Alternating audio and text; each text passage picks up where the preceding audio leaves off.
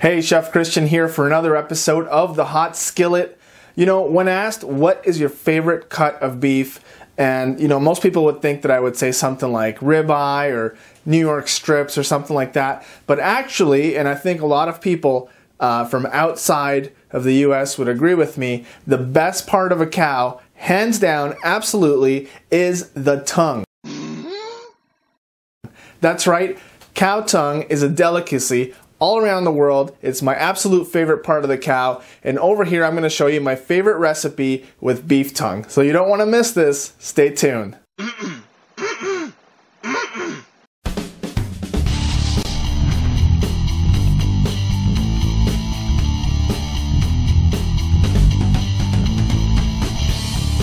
All right, so let's jump right into this recipe. I'm very excited for you.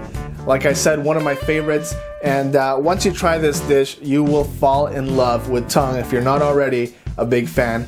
All right, so what I've done here is I've taken a beef tongue and I've put it in my pressure cooker, pressure cooked it for 50 minutes. So, you know, from here forward, we're gonna carry out the recipe. If you wanna know more about how to pressure cook a tongue, I have another video in my how-to video section and that explains step by step what to do. All right, so if you wanna watch that, it's on my Roku channel, it's on my YouTube channel, and it's on foodchaintv.com. All right, so let's go through the list of ingredients today. All right, so our ingredients are a little bit of port, some water, a whole bunch of white sliced mushrooms. We have about three small onions julienne. We have a big handful of fresh chopped parsley, four garlic cloves minced. Now over here I have a little bit of white rice flour. Now, I'm, the only reason I'm not using regular flour because I want to make this dish gluten-free. Okay, so we're going to use white rice flour for this dish instead of traditional flour which contains gluten. All right, salt, pepper, olive oil, away we go. Okay, so the first thing I'm to show you how to do is how to peel a beef tongue. Okay, now a beef tongue has an actual layer of skin around it that's pretty tough, so you have to remove that when you start working with the tongue. All right, so if you've pressure cooked it properly and you've cooled it so that it's you know cool to the touch, you can actually handle this tongue. What I'm gonna do here is just show you how, oh, let me put a little rag here to soak up some of that juice. This skin should come right off, just like that. Okay, there we go. So underneath that is some really, really nice meat. Okay, and yeah, this is pretty easy to do. If the skin doesn't come off this easily, you probably didn't cook it properly or you didn't cook it long enough. Okay, this thing is pretty hot still, so I'm trying to not burn my fingers here. Alright, so that skin came off very quickly. Okay, so I'm gonna cut this into, you can cut it into slices, cubes, you know, I'm just gonna say cut it into smaller pieces, whatever your preference may be. Okay, so I'm gonna cut this into segments here and just slice it. Okay, into my bowl it goes.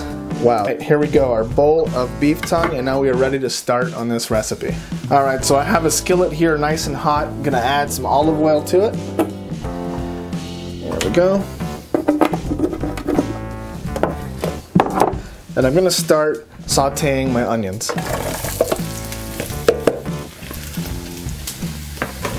Now, I'm not gonna add the uh, parsley and the garlic just yet. I like to cook the onions a little bit first.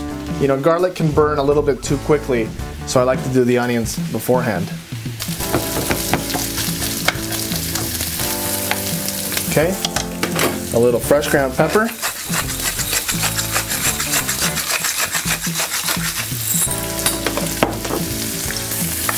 All right, now I've cooked these onions for a few minutes. I'm gonna add the mushrooms.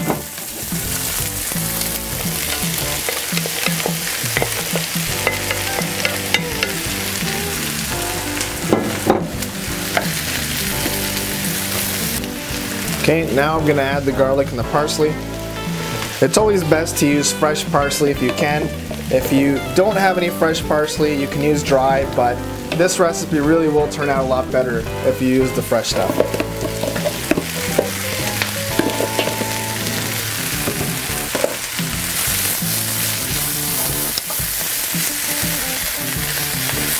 And I want to cook this until those mushrooms start releasing a lot of the water that's in them. All right, so see all this liquid evaporating off the mushrooms? This is what you want to see. All right, actually I'm going to turn on my exhaust fan here.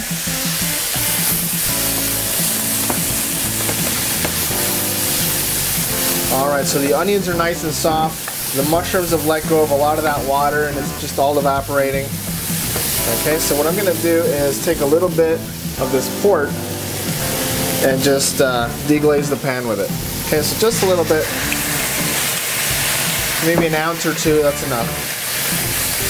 Port is pretty strong, so you don't want to use too much of it.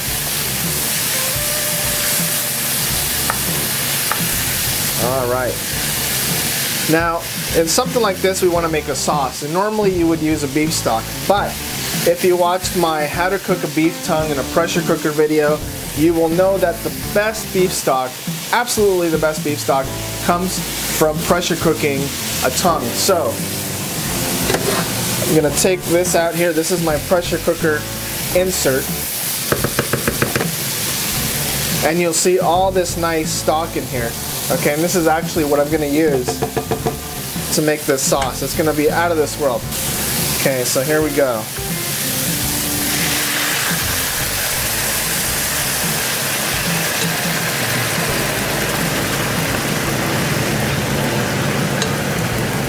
Okay, so about five cups of this stock. There we go. Okay, put this over to the side. Wow. Okay, got a taste for salt. Now this stock that I make is pretty salty, so I may not need to add salt.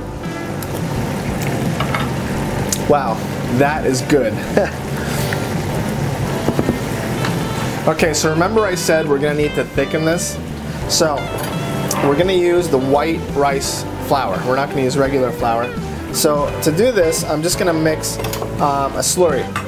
Definition of a slurry, water plus starch is a slurry. So, I'm gonna get a little bit of water here, and I'm gonna mix it in with the uh, powder. Let me get the camera on this. Let's put a little water, just mix it around. Okay, a little more. Okay, once you know the consistency of a slurry, it's kind of like paste. Remember when you were in kindergarten and you played with paste? Well, it's that consistency. So, here we go. I'm going to add this into my sauce and that'll thicken it. Okay, you don't want to over thicken it. So, you know, just add a little, mix it in there, and if after a minute or so it's not as thick as you want it, use that a little more. And don't worry if you think you screwed up and put too much slurry in there and it's too thick. Just take some more stock and put it in there and water it down. We're not baking here, okay? Cooking is very off the cuff. There's usually a way to fix all the mistakes that you make. So, relax. It's gonna work out. Alright, so see how nice and thick it's getting? I'm to turn the heat down a little bit. Alright. Okay, so I'm to let that simmer for just a couple of minutes, just so that starch has room to expand and set. Alright, and then I'm to add my tongue. Okay, so in goes the tongue.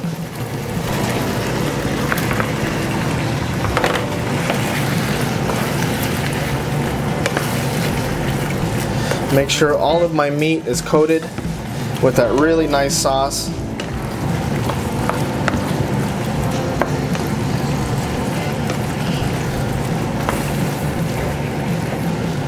Alright, so I'm just going to cook this out for another 10 minutes and then it'll be ready to plate. Alright, so the tongue is ready to be plated and I'm going to show you what I like to do is I take a bowl of hot steamy garlic mashed potatoes and I love to just serve it on top of that. It's one of my favorite meals. It always reminds me of being back home when I was a kid and uh, you know my mom would make this for us on special occasions and it was amazing. So here we go.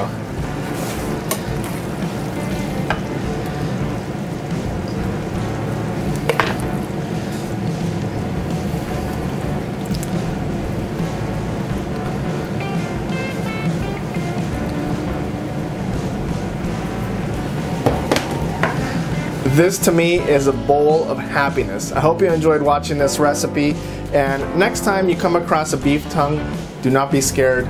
Try this out. You will love it. All right? Thank you very much for watching. If you're watching this on Roku, please watch our other channels. We have our how-to videos, we have on the cutting board, and of course, the hot skillet. If you like this video, don't forget to hit that subscribe button. Your subscriptions help me make more videos. Thanks for watching.